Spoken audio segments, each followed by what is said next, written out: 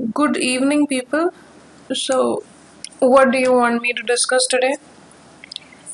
Uh, I'll tell you a small story. I met a very old friend today. She asked me, Tell me, Mona, what are you? Are you a physician or a surgeon? To that, I replied, Well, that depends on my patient. If the patient is up, she's awake, I'm a physician, and if she's been put to sleep, hell of a surgeon I am. So that's the beauty of my subject of specialty obstetrics and gynecology. You get to be a physician and a surgeon at the same time.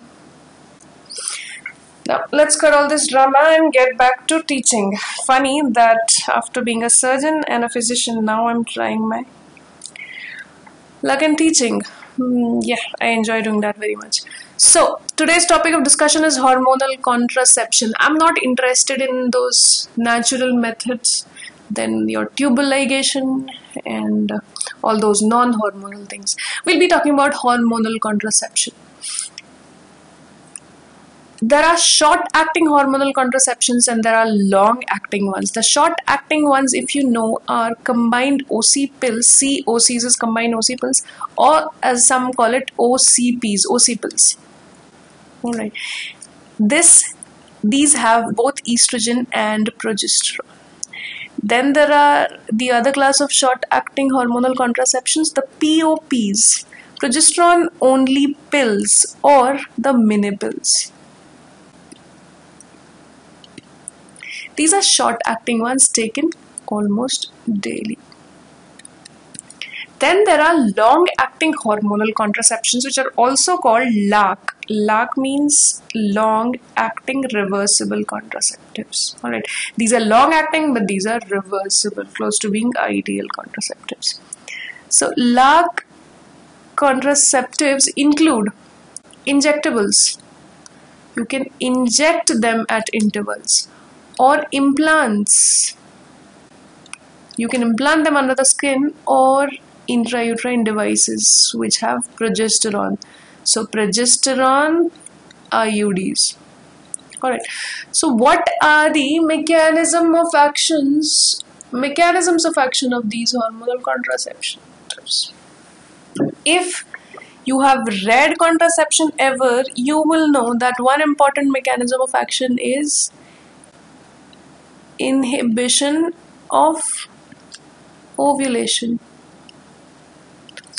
and if you were attentive enough you will remember that OC pills have both estrogen plus progesterone now tell me how these two hormones the very important pregnancy hormones are the ones preventing the occurrence of a pregnancy how does that happen? Estrogen and progesterone are the hormones responsible for maintaining a pregnancy. But what does estrogen do? If you remember the class on normal menstru menstruation I took, an important action of estrogen is to give negative feedback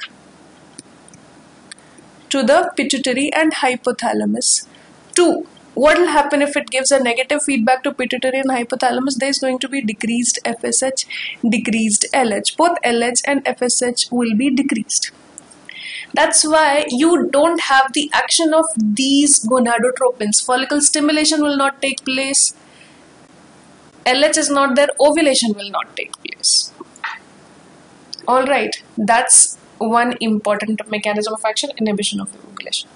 Next is now this was a major role of estrogen with progesterone also playing a role because it also has a negative feedback effect on both fsh and lh all right second mechanism of action is pre second and third both are predominantly because of progesterone this is endometrium endometrium is non-receptive to implantation. Because of the progesterone effect on endometrium, it is always in the secretory phase, which is not receptive to an implant. It is always like it is a premenstrual endometrium. Third is cervical mucus.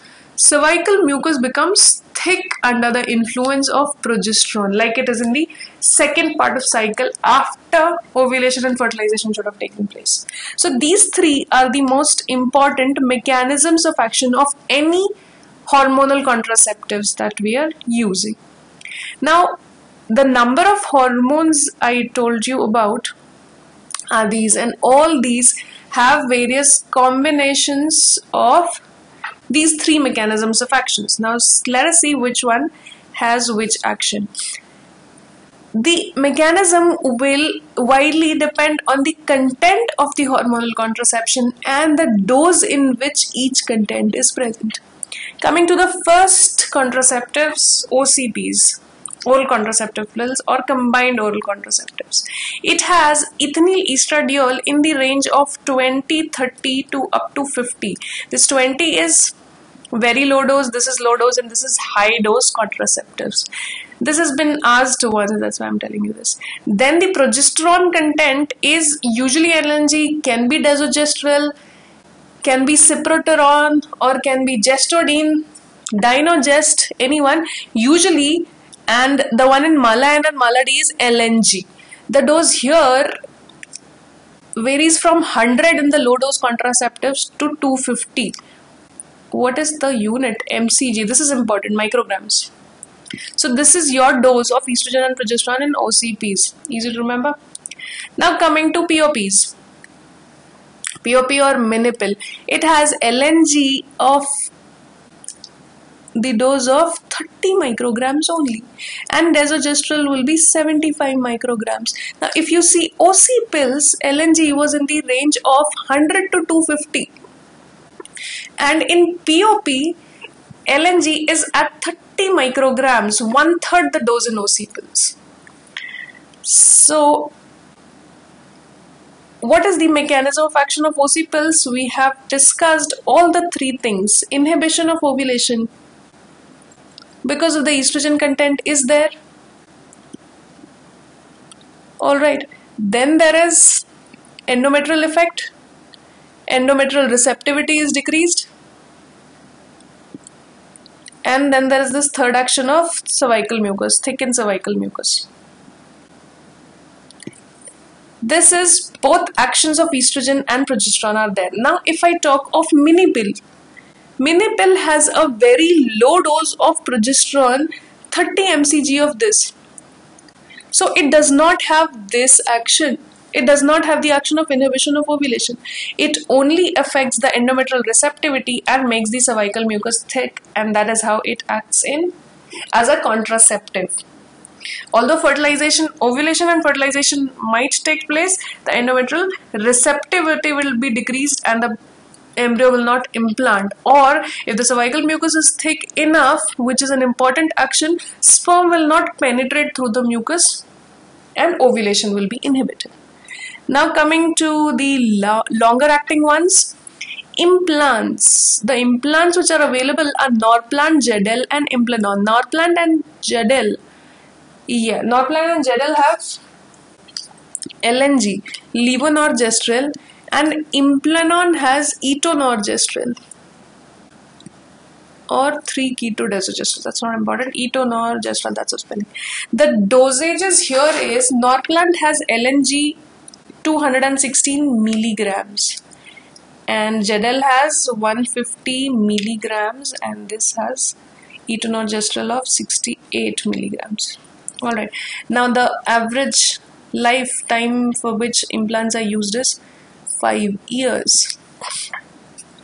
For the first two years of use, they release about 60 to 100 micrograms of progesterone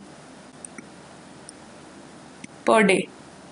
Alright, and later, that is after two years, they release a progesterone of 30 mcg per day. Now, that comes to be equal to the dose of minipill later in the stable state while in the first two years it has a comparatively higher dose. So here the mechanism of action is that it will have inhibition of ovulation effect. It will have inhibition of ovulation effect for the first two years only. This and this, all the effects will be there for the first two years. Later, this effect will not be there. This and this will be there. This we are talking about implants and this was POP and if you compare this with COC, it has COC has all the three actions. Alright, so getting my point, POP and Implanon have a very low dose of progesterone in blood per day, which is around 30 mcg. That's why the only two mechanisms by which they act are endometrial receptivity is decreased and cervical mucus is thickened. They do not inhibit ovulation, while COC does.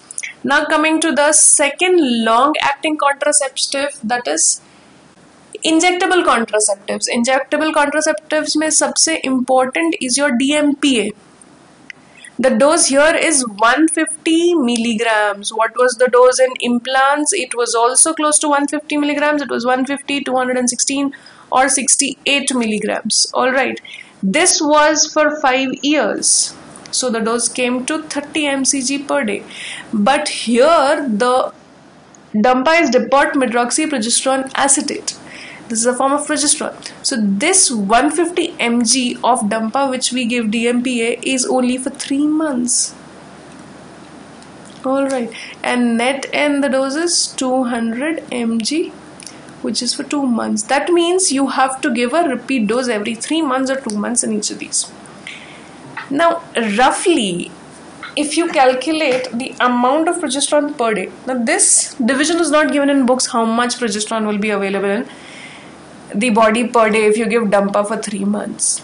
Alright, this I'm just giving you to have a rough idea how much estrogen should be there in the body per day. Rough, not theoretic. Now see, 53 months, we're talking about DMPA. 3 months, for 3 months the dose in body is 150 mg, the injection which you have given. So for 1 month, if you divide it, there is going to be 50 mg for a month in the body. That means 30 days 50 mg that means in one day it is 50 by 30 that comes to around 1.6 mg milligram now see this dose that means i just want you to know that 1.6 milligram around is the amount of progesterone which will be available in the blood every day. If you give 150 mg every 3 monthly. All right is that clear? So this is in milligrams very high compared to 100 to 250 mcg which we had in COCs and much higher than mini pills or implants which had a dose of 30 mcg per day only. So this has all three actions of inhibition of ovulation endometrium and cervical mucus. So it has all the three effects. All right easy to understand? Now there's this last hormonal contraception progesterone. Sorry progesterone iud progesterone iud the trade name is Mirena if you have heard. There is this intrauterine device which has progesterone impregnated in it. How much progesterone is that total? Total is 50 mg milligrams and daily it releases 20 micrograms of which progesterone it is LNG levonorgestrel 50 mg of levonorgestrel is there. So 20 mg close to the mini pill dose. So what will be the mechanisms of action? Apart from those 1 2 and 3 which i have been telling you there's a fourth action of foreign body effect just like any other copper sorry any other intrauterine device. All right foreign body effect is also there. The effect on ovulation is erratic. In some women it causes anovulation so in some women this inhibition of ovulation effect is there while the effect on endometrium and the effect on cervical mucus is consistent so these three effects are always going to be there. In some, it might inhibit ovulation because of its local effects. Alright, so if we compare all of them, what are the mechanisms? Inhibition of ovulation, decreased endometrial receptivity, and thickened cervical mucus. If I ask COC, combined OC pills, E plus P both are there, all the three actions are there. If I say POP, progesterone only pill, or also called mini pill, or implant, it will not have this effect, and implant might have this effect in the first two years of use. Later, both of these will have these effects definitely. Then, coming to injectables, because they are very high doses given for a short period of time, three monthly intervals. That's why they have all three actions. And when you come to IUD, progesterone IUDs, this is in some women and this is consistently present plus a foreign body effect is there all right thank you very much. Again reminding you if you have doubts please post. Nobody has yet ever had any doubts in any of my lectures. Many reasons could be there. I'm not going to discuss all those things. So please if you have doubt post in the comments. I'm going to answer those doubts definitely. Thank you. I don't know how to stop this actually. In fact I've forgotten it. Control plus yeah that's bad. Shift plus